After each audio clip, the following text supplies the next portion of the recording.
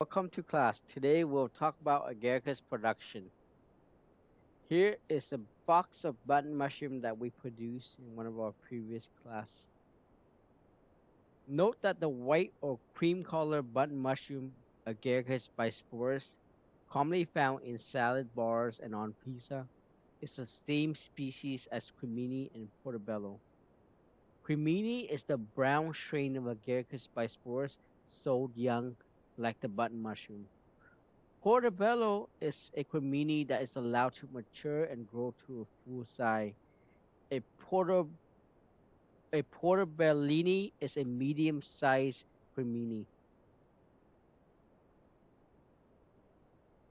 The wild type of Agaricus bisporus is naturally brown. The white or cream colored button was found by chance on a mushroom farm in Pennsylvania about 100 years ago. This natural mutation became the mainstay of the industry. Not too many years ago, an oversized mature button mushroom was culled and thrown away. It wasn't until chef popularized recipes with these mushrooms that portobello became popular. Today, if you are a button mushroom grower, portobellos probably make up part of your cells. Secondary decomposer. Um, so Agaricus bisporus is a secondary decomposer with growth requirement very different than those of the primary decomposer like oyster and shiitake. Button mushroom use an organic substrate already decayed or composted by other organisms. And importantly, secondary decomposer consume the dead and dormant cells of many of those organisms responsible for composting the substrate. Today, there are several type of growing system used in the mushroom industry. The tray system, also called the California or Western system, rely on moving large, usually wooden trays, which are around four feet by four feet by one feet tall, of compost by forklift from one room to another. It's a two-system zone, since spawn running and cropping are carried out in separate rooms. In the eastern United States, a one-zone system is used in building called the Pennsylvania Double, two, which is two long buildings connected side by side to optimize ventilation. There, spawn run and cropping are conducted in the same room on multiple tier shelves that's why it's called a shelf system that runs the length of building. Compost is moved via conveyor belts and in and out of the room. In the Dutch system, compost is moved on nets pulled by winches to fill aluminum frame bed in growing room. This is the more modernized system. It's also a cleaner system. In Ireland and rarely in the US, plastic bag are used to grow crops. Another growing system. So in California, phase one, which we're going to talk about later, is generally done outdoor. In some area of the world, urban sprawl have encroached upon the agriculture sector, and other problem have caused growers to compost in an enclosed structure called tunnels or silos. It's called bins or bunker if it's roofless. In places in the eastern United States and Canada, there are businesses that specialize in producing compost. So the mushroom grower simply places an order and a compost is, is delivered. In much of the U.S., each mushroom grower makes his or own compost and makes just enough for their need. These structures are built with wooden slats in the floor so air blown through the plenum can pass through the compost. The advantage of tunnels include better control over the composting process. Air is forced through the compost as needed to prevent anaerobic fermentation. It's space saving. There's little turning is required. It reduces shrinkage and better odor control. The wisdom of converting to tunnel composting is controversial though. I'm going to chat a little bit about the brief history of agaricus uh, production. I mentioned this briefly in the first lecture, but agaricus production began in France in the 17th century on horse manure and moist leaf litter in raised beds. At that time, it was recognized that one manure heap could be inoculated with parts of another, and a casing layer was used. The maker of these early mushroom beds knew that heat from the bed had to be dissipated for mushroom production. One can imagine how it was recognized that button mushroom grew on compost. How someone figured out that the casing layer was necessary to initiate fruiting is remarkable. In one of the most significant developments in history of mushroom production, a French gardener began to cultivate mushroom in underground quarries near Paris. Later, the industry moved to above ground and enclosed building. The beginning of modern methods is developed. By the late 18th century, composting methods resemble the method used today. Horse manure was used intensively during the early years. While many people still believe that horse manure is part of growing mushroom, it isn't used much today. So when the automobile industry developed and horse became more pet than work animal, it was soon learned that horse manure was not essential to mushroom production. Manure, manureless compost, also called synthetic compost, as opposed to horse manure compost or just manure were soon formalized.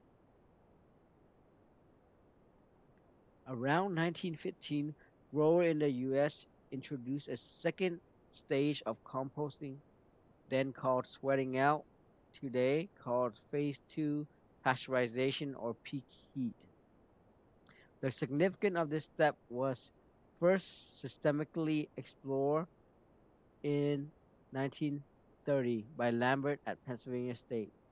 In the early 1940s, researchers Sinden and Hauser, also at Pennsylvania, increased the efficiency of composting. The first part of composting, called Phase 1, was conducted as is now in piles called rick and was reduced to about two weeks. Other significant changes in the industry include optimizing the use of grain spawn in the 1950s, and supplementing compost at spawning with delay release nutrients such as oil encapsulated in the nature protein coat in the 1970 by Carroll and Schisler, who patented the method for Pennsylvania State University. One such supplement is called SpawnMate. Do not confuse this supplementation with supplements added to compost during phase one.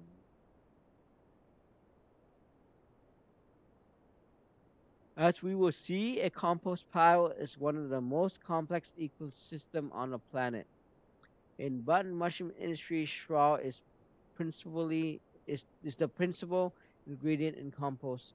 The straw is nutrient poor, so it's supplemented with various other agricultural waste products like dry poultry waste, DPW, cotton seed meal, CSM, and many other. The compost pile is managed very carefully, and the first part of composting, called phase one, is conducted in piles called ricks and is reduced to two weeks. The first part in making compost is the assemblage and conversion of raw material into nutritious medium or substrate for mushroom growth in phase one. This step usually occurs outdoor on a concrete or asphalt floor called a wharf. Composting results in a semi-selective substrate that allow the growth of button mushroom mycelium while excluding other microorganisms. The raw material of composting are primarily inexpensive agricultural byproducts or waste. During composting, certain physical qualities, permeability to air and water holding ability, and chemical process such as nutrient availability for the mushroom, exhaustion of nutrient from competitor, and appropriate pH are developed. The heat generating property of compost are also removed by the end of uh, by the time the compost is spawned with button mushroom. Here in this picture, we are chopping straw on a rough straw either alone cause synthetic compost or as horse manure, a little horse manure in straw usually from racetrack bedding is the starting material of compost. It provides structure and chemical property. If horse manure is used, it's just a small fraction of the total compost. Horse manure in this context refers to straw with a little manure in it, just what you would expect if you collect straw from bedding in a horse stall. The microorganism present, presence in the manure jumpstart the composting process. That is why it, is, it was desirable but not always necessary. Straw contain about 0.6% nitrogen, while horse manure contain about 1% nitrogen. Straw provide carbohydrate, uh, roughly 36% cellulose, 20% pentosan, and 60% lignin to the compost. Cellulose and pentosan breaks down to simple sugar, which supplies energy to the microbe. Lignin is a highly resistant material and is found in wood.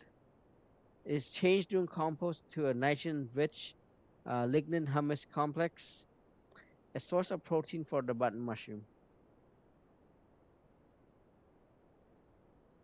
Nitrogen-rich lignin humus complex is resistant to bacterial decomposition but not to mushroom enzyme. The substrate acquire some specificity because of this nitrogen-rich lignin humus complex. Researchers estimate that between 40 to 70% of the nitrogen utilized by mushroom comes from nitrogen bound in this lignin complex. So to make the straw more efficient for the production of mushroom, nitrogen supplements are added during composting these supplements are designed to provide proteins in the form of nitrogen and carbohydrate sugar to feed the ever increasing microbial population. Many nitrogen sources can be used as long as sufficient carbohydrate are relatively available to supply energy for the nitrogen utilization. Here, straw is being wet thoroughly and supplemented uh, with dry poultry waste and urea. Because of the tough nature of cellulose, many of the carbohydrate in straw are not initially usable and the energy comes from the supplement. A balanced supplement is therefore highly desirable. It should contain not only nitrogen but also sufficient organic matter to supply essential carbohydrate. For this reason, certain manure and animal feeds meal are widely used for composting.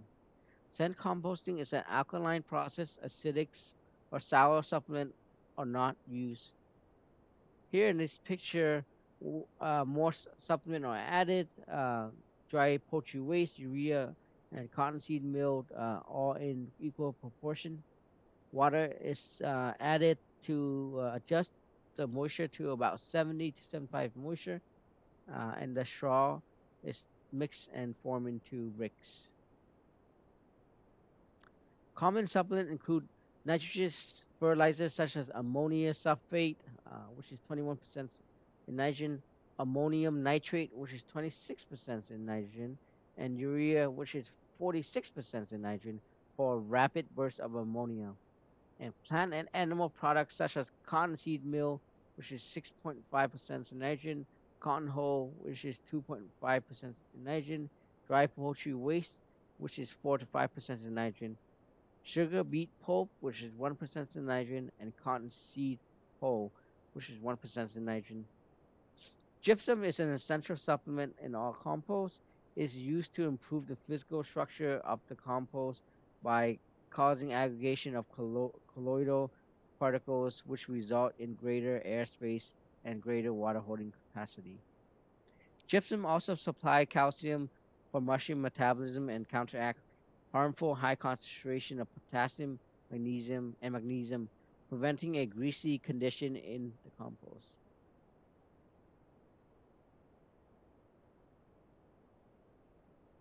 So there are two type of uh, decomposition. You have aerobic, uh, which decompose organic matter rapidly and completely with a corresponding production of carbon dioxide, water, and heat. Uh, thermogenesis, so it produces a lot of heat. And then you have anaerobic, which partially decompose organic matter, producing not only carbon dioxide and water, but also certain acid and several type of gas such as hydrogen sulfide and methane. Anaerobic composition should be avoided since anaerobic generate less heat than aerobic. Anaerobic areas in compost smell like rotten eggs and uh, as waterlogged and are cooler than aerobic decomposition.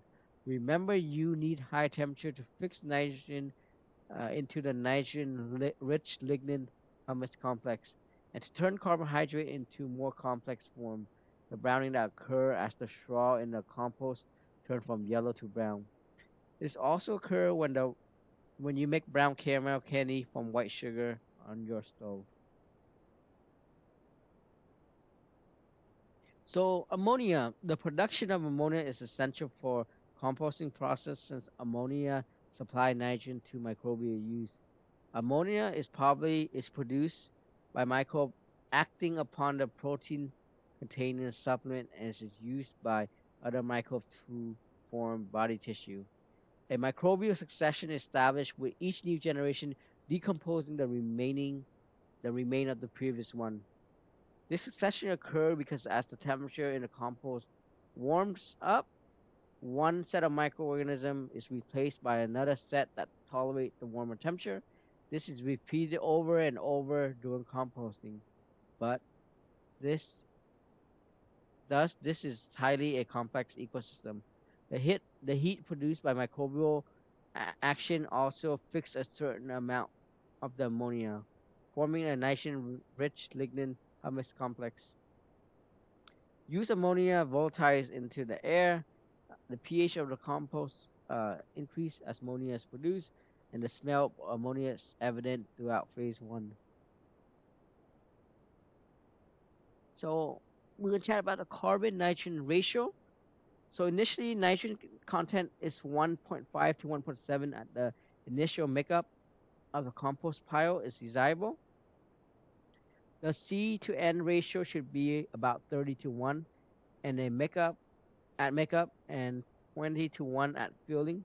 The filling tray or bed with phase 1 compost before phase 2. And 17 to 1 at spawning. Too much nitrogen can result in prolonged ammonia release, necess- necessitating longer composting time. If composting continues too long, the physical and nutritional qualities will be negatively affected. Too many carbohydrate will result in available carbohydrate that can become food for competitors. So, succession of microorganisms. High quality compost is the result of aerobic fermentation involving a succession of microorganisms which precede the uh, essentially higher temperature chemical reaction. Simple soluble carbohydrate are used first, and their carbon is lost as carbon dioxide or incorporated into the microbial biomass. Nitrogen also goes into the biomass, although some is volatile, uh, volatile, as ammonia. In the first three days, mesophilic fungi and bacteria, such as mucor species and Pseudomonas species, are common, followed by other mesophilies fungus such as Aspergillus. The mesophilic population is gradually succeeded by a thermophilic population, organism that thrives above 112 Fahrenheit. The fungus Humicola species and a bacterium Corbacillus are important at temperature above 112. Actinomycetes, which are a type of bacteria are very important in good compost. They are abundant in compost toward the end of phase one. All of these organisms uh, are a key player in the compost pile. Uh, there are many, many others.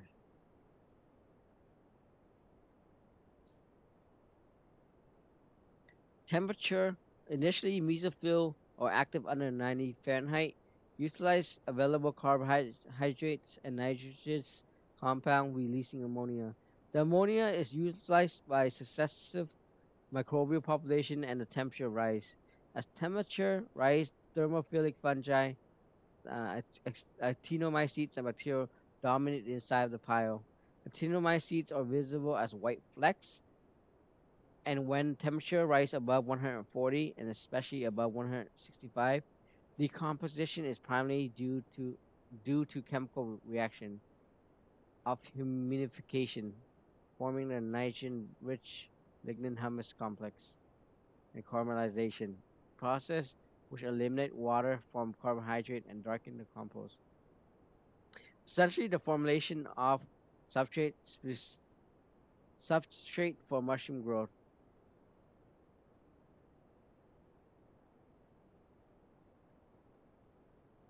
Some other characteristic of a compost during phase one or water and air. Moisture level in compost must range between 69 to 73 percent water. Too much water can result in anaerobic condition. Too little water result in poor compost and poor microbial growth.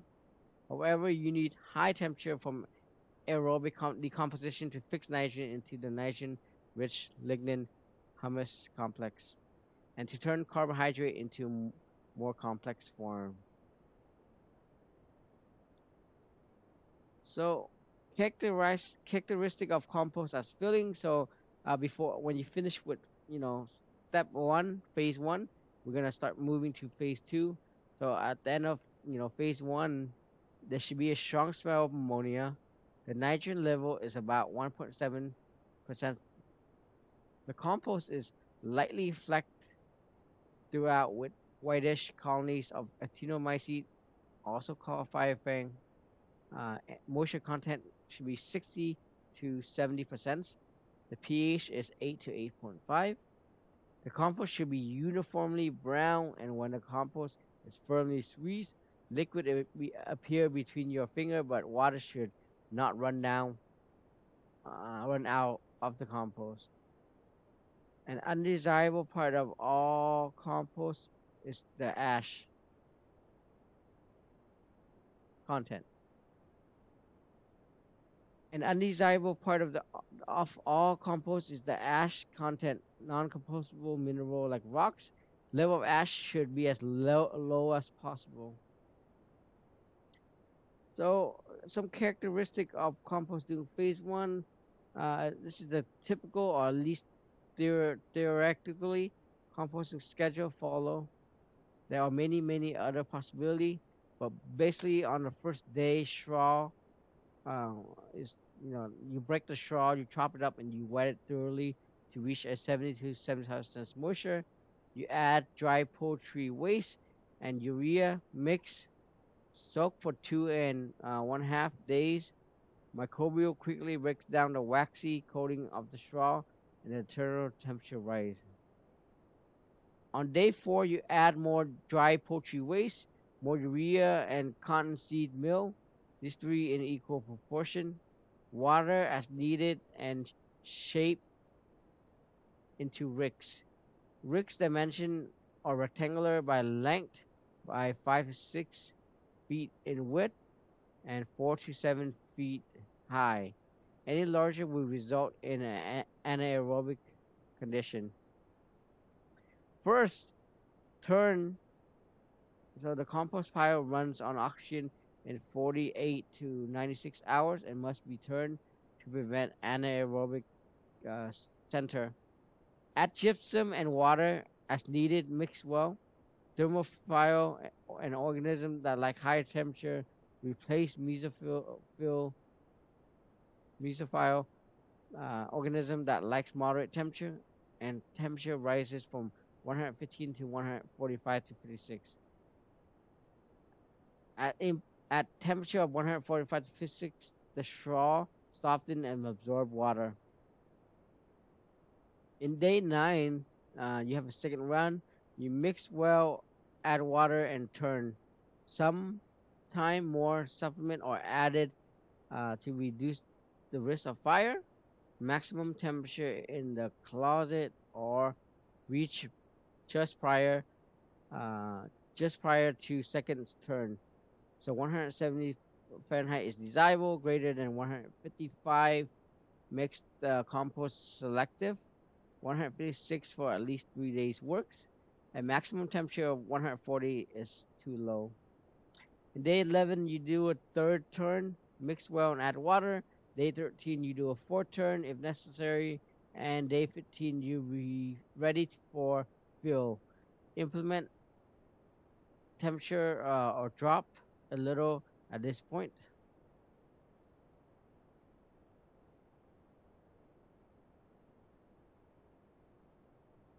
So where are we? We are on a button mushroom farm. Uh, on the mushroom uh, wharf, straw, straw, straw, and bale straw. So they use a lot of straw. The straw is being chopped up, and you add a lot of water. So composting require a lot of water. Uh, straws being wet thoroughly and supplemented uh, or added, such as dry poultry waste urea. Let the six sit for two and two and a half days for the microbes to break down the waxy coating of straw and the internal temperature of rice. Add more supplement such as dry poultry waste, urea, and cottonseed uh, meal. These three in equal proportion. Water is needed uh, to reach a 77% moisture. Uh, it's being mixed into the straw uh, to form the rick. So this this is basically a machine that that is mixing up the supplements uh, and the straw. Piles is formed into ricks with this machine. Uh, rick dimension are rectangular, any length by five to six feet in width and four to seven feet high. Any higher will result in an anaerobic core. So this is a rick uh, at day seven uh, of composting. So we're gonna go on to phase two now. So phase one is completed. Phase one is completed. At the end of phase one, there should be a strong smell of ammonia. The nitrogen level uh, is about 1.7%. The compost is slightly flecked throughout with whitish colony of actinomycetes, also called firefang. The moisture content is 67 to 70%. The pH is about 8 to 8.5. The compost should be uniformly brown, and when the compost is firmly squeezed, liquid appear between your finger, but water should not run out of the compost. Our compost is ready for filling, which is which means loading it into trays, which are moved by forklift into a room dedicated for phase two, or if loaded onto shelf with the help of a conveyor belt in a room that will, for the next week or so, be used for phase two. While phase one is a combination of biological and chemical process, phase two is purely biological. Special room with controlled temperature, humidity, and fresh air produce the appropriate condition for a certain group of microorganisms. To use and exhaust relatively available carbohydrate and free ammonia, which must be completed completely removed since ammonia is inhibitory to the growth of button mushroom mycelium. The result is a buildup of microbes that contain vitamins, fats, and proteins. The mushroom mycelium will utilize this biomass, which constitute part of the brown layer on a partially decomposing straw fiber.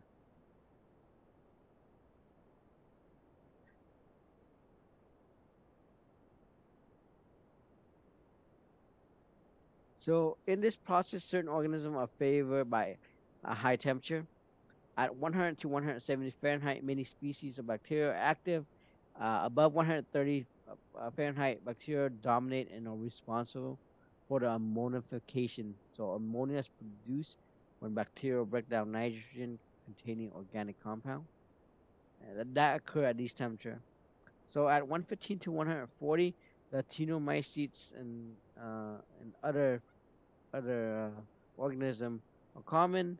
At 110 to 130 Fahrenheit, uh, fungi such as humicola and torula are common.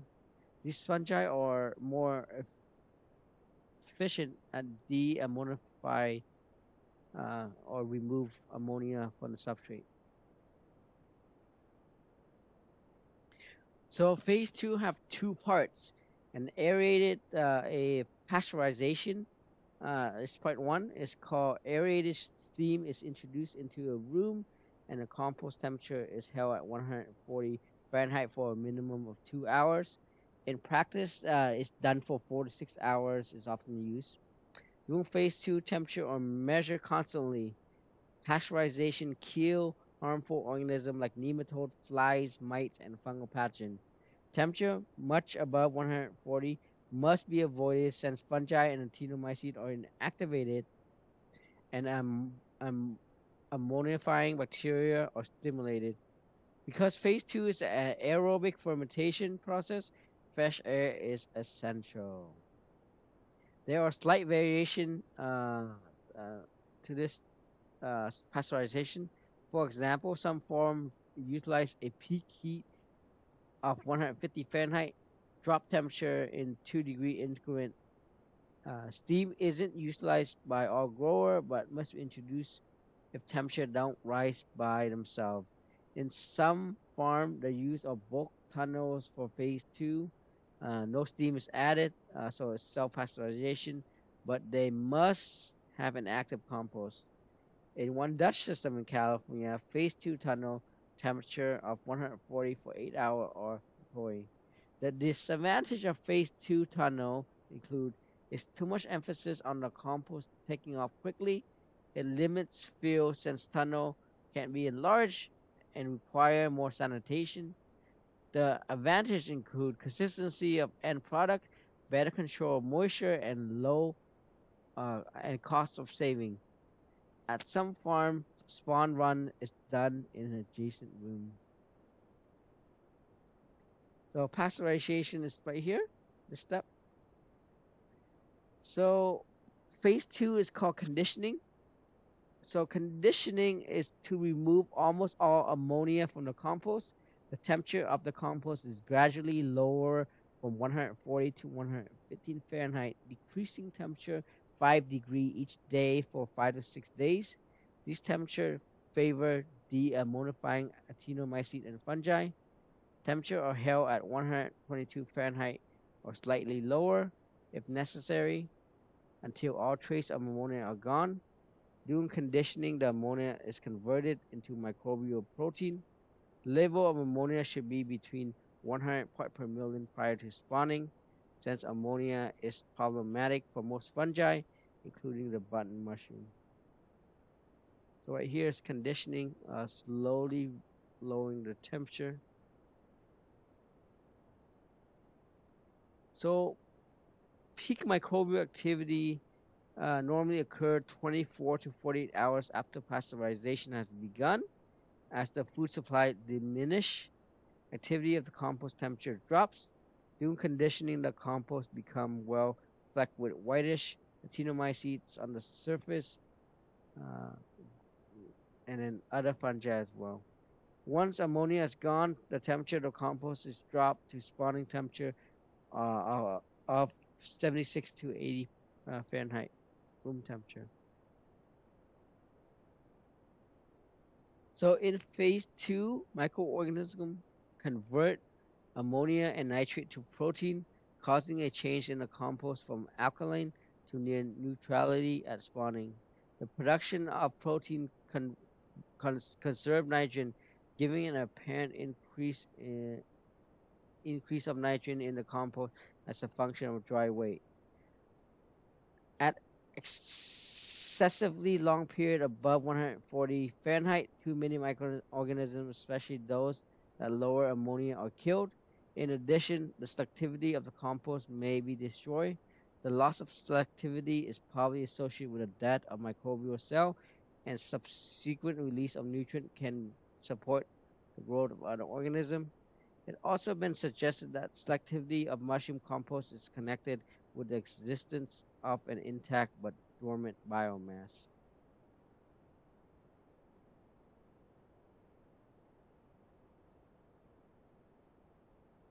So a finished compost, so you, after you finish phase one and phase two, uh, you know, a finished compost has the following characteristic.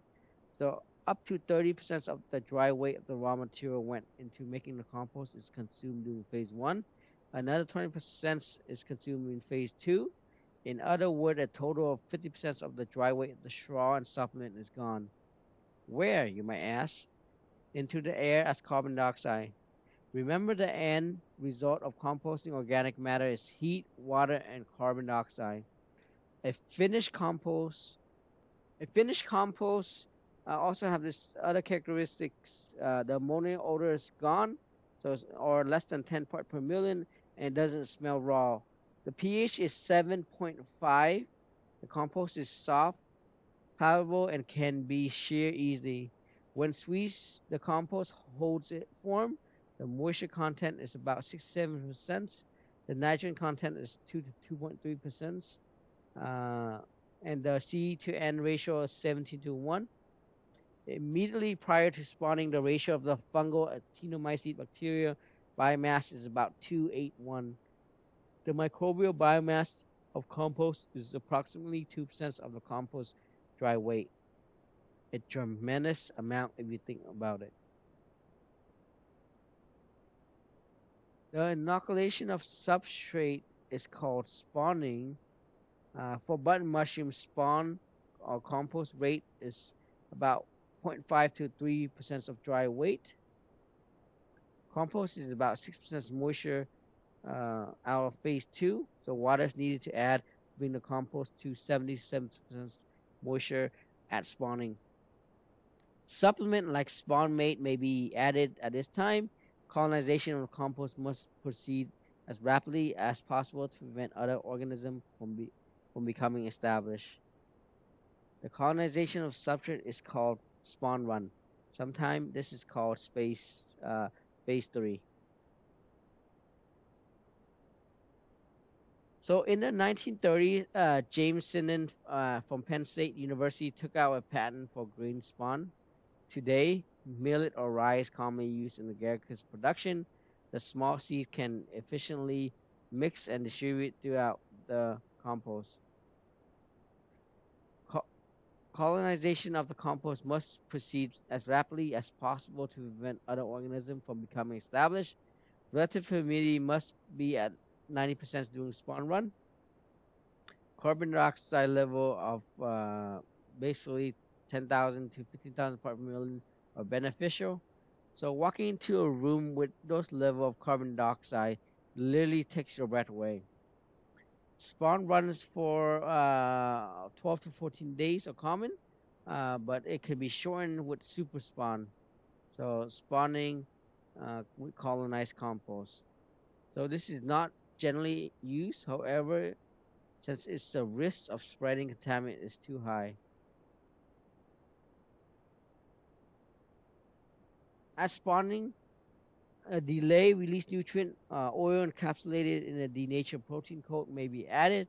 With supplements such as spawn SpawnMate, for example, yield may increase one pound or more per square foot of compost substrate. A grower that targets six to six and a half pound of harvested mushroom per square foot in order to make a profit. These numbers becomes available to the growing mushroom over the life of the bed. So these nutrients become available to the growing mushroom over the life of the bed. However, if a farm compost is of highest quality, there may be no economic benefit for adding the supplement. Supplement of uh, supplementation of the compost became desirable in the 1970s when mecha- mecha- mechanicalization of the self-growing system was developed. Today's shelf uh, today's shelf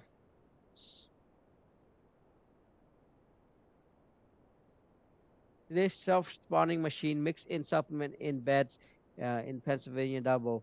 Before these automated mixers were available, Monterey Farm in California popularized the tray system since a relatively small tray for phase two could be dumped and the spawn and supplement could be mixed well into the compost before it was returned to the tray. Today, some believe that the tray system is absolute, obsolete uh, since it since automated mixer are used for bed.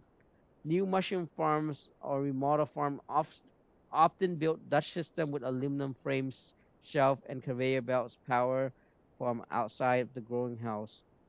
While spawn is produced under the most meticulously adherence to sanitary practice, nothing on a button mushroom is sterile except the spawn. Good sanitation is a must to avoid introduction of pathogen and pests to the substrate.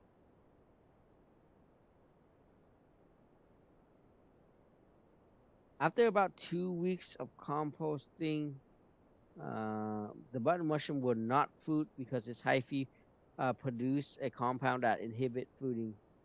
To overcome this self-inhibition, a casing layer is added to top of the colonized uh, compost. The casing layer is not sterile. So the casing layer provides three things. One, a humid microenvironment for pin development. Two, a water reservoir. Three, microorganism which breaks down the compound that prevent uh, button mushroom from fruiting. So obviously the casing layer is not sterile. Pasteurized soil will work uh, and was the casing of choice for a long time. But today growers use peat moss with lime. Peat moss is very acidic and must be neutralized with something uh, like lime. Use about 5 parts peat moss to 1 part uh, lime by volume. Agaricus bisporus prefer a casing pH of 7 to 7.5, which will fall due to uh, acids secreted by the mushroom mycelium as the casing uh, is colonized. Environmental condition after casing should be the same as during spawn running. The peat moss is used straight out of the bag and doesn't normally contain any agaricus pathogen or pests. Although agaricus will not fruit in the absence of microorganism in compost, experimentally it will fruit if activated charcoal is incorporated into the sterile casing layer. The so many grower will tack the casing layer. Uh, so the best uh, they have available since spreading. Okay, many grow with the casing layer. Uh, this means add colonized compost. Uh, the best they have available since spreading pests at this stage could be disa- disa- uh, disastrous to the casing. CAC stand for compost at casing, but is used like an actual wood on mushroom farm. Instead of using colonized compost in the casing, uh, you can mix colonized grain into the casing. One such product is called Casemate, and the purpose of cacking and adding something like Casemate is the same to shorten the time of the casing layer uh, is colonized by the button mushroom mycelium. Both methods provide point of inoculation uh, in the casing that will grow an anastomosis or fuse with hyphae from substrate. The hyphae in the substrate will eventually reach the top of the casing layer, but it will reach it much faster if the casing layer is already colonized. To use this method, the strain of the button mushroom and the casing layer and the strain in the substrate must be identical, otherwise no hyphal fusion will take place.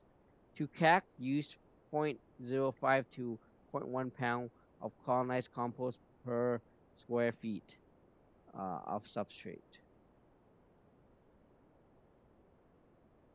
So the thickness of the casing layer is about uh, 1 to 158 to 2 inches. The moisture level in a typical peat moss base casing is 70 to 75 or 2 to 4% below saturation. To CAC, use you know 0.505 to 0.1 pound of colonized compost per square foot of uh, substrate, uh, substrate surface. So don't let the casing uh, layer dry out. Uh, within a few days of applying the casing, the mycelium should be growing into the casing layer. Once mycelial growth is firmly established, the casing is gradually water uh, up to its optimum moisture holding capacity. This, that is, any more water would run out of the casing. Optimum moisture capacity should be achieved at least two days before the mycelium reach the surface. This is accomplished by a series of light watering with a misting nozzle over two to four day period. Water is the water in the casing moves by capillary action to the surface where it's drawn into the air by evaporation. This constant movement slowly depletes the casing of the moisture needed to protect pinhead development. Therefore, in conjunction with optimal casing moisture level, the relative humidity of the room must be held at 95%.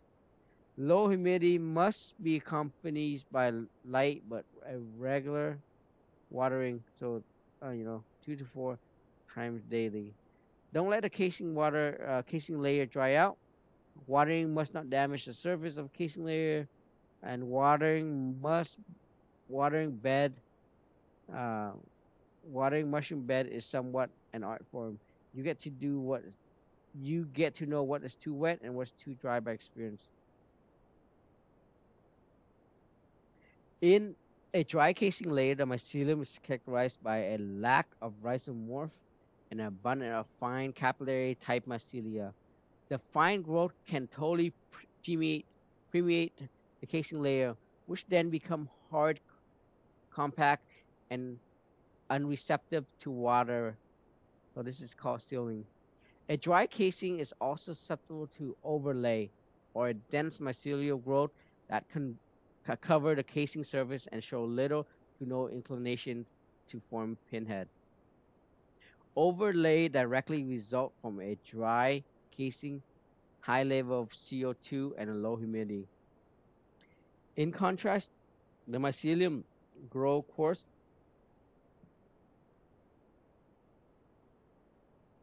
In contrast, the mycelium grow coarse and stringy in a saturated compost also resulting in poor growth. Scratching uh, the top of the casing with is what is described as a large hole made of nail or something similar may repair the casing surface. Some growers scratch the casing as a matter of routine. Pinning. At this point, visible mycelial growth in the valley of the casing layer should be uh, consists of rhizomorphic, which are thick strand of hyphae, Rhizomorphic growth is important because it's the origin of mushroom pins, primordia or pinhead, uh, or knots of mycelium that precede the development of into small mushroom. All species of mushroom require a set of environment conditions for pinning that are different uh, from the condition for optimal mycelial growth.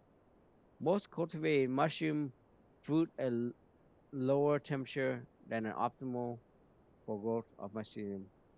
Usually, a drop in temperature is a natural environment. Uh, in a natural environment, is accompanied by rain to increase the humidity.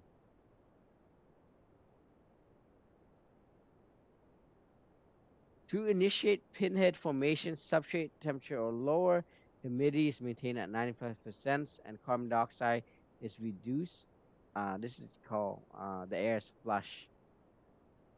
In bud mushroom, uh, the mycelium is stimulated to fruit by decreasing CO2 level to below 100,000 part per million and reducing compost temperature to about 63% Fahrenheit, which means air temperature might be uh, might ha- might have to be three to uh, three to eight percent cooler.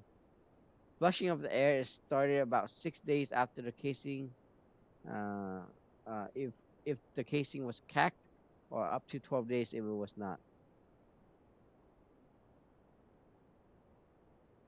Cropping. So the mushroom crop grow in cycle called flush or break. A break occur in roughly 7-10 days interval. Some fresh air is continuously introduced into the growing room uh, since high level of CO2 uh, cause long stem and underdeveloped cap. Uh, other mushroom produce similar abnormal growth in these conditions. CO2 level may be slightly raised depending on the strain under cultivation for the enlargement uh, uh, of the first break and the remaining of the cropping. During the first break, do not water on successive day. Unlike most mushroom, the button mushroom does not need light for proper development, so it's often grown in the dark.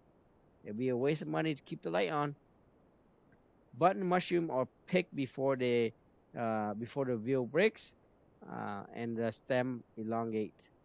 Portobello, which are grown as above, except that fewer pins are produced by thinning and providing less optimal condition for pinning. The first three breaks are harvestable. After that, uh, the risk of uh, building up pests is too great, uh, so they are not really harvested after uh, three break.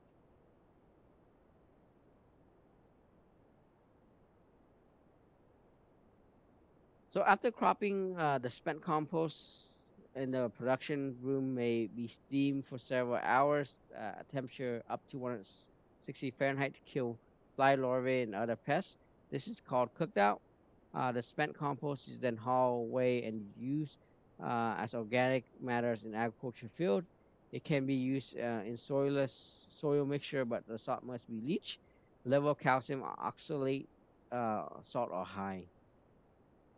So at this stage, Aspergillus uh, fumigatus is dormant fungus uh, in the spent compound compost, uh, and it may play a role in in an allergic reaction. So uh, people usually call this uh, mushroom worker lung.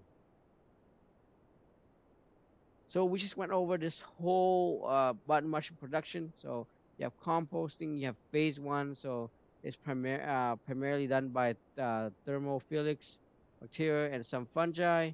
Generally, does uh, generally this is done outdoor, although more and more indoor uh, operation or, or, or, or being developed or used. Then you move to phase two, so final indoor composting in wooden tray, beds, metal uh, shelf, and books in tunnels. So you have more control uh, composting, primarily the thermophilics and actinomycetes and fungi uh, remove uh, ammonia.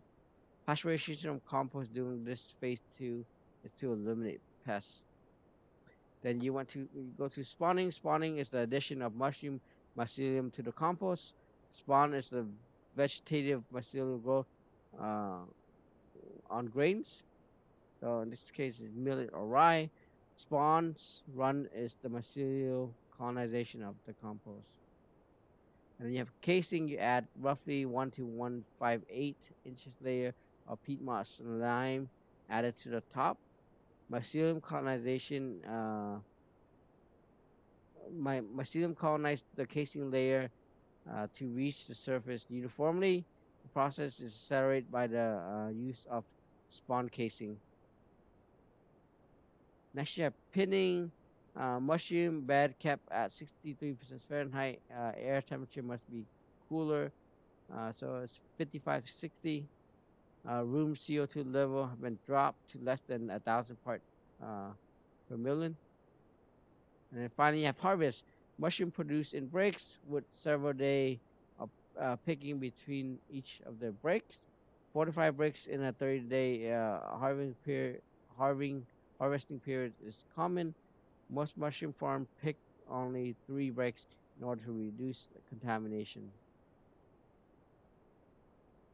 With that, thank you.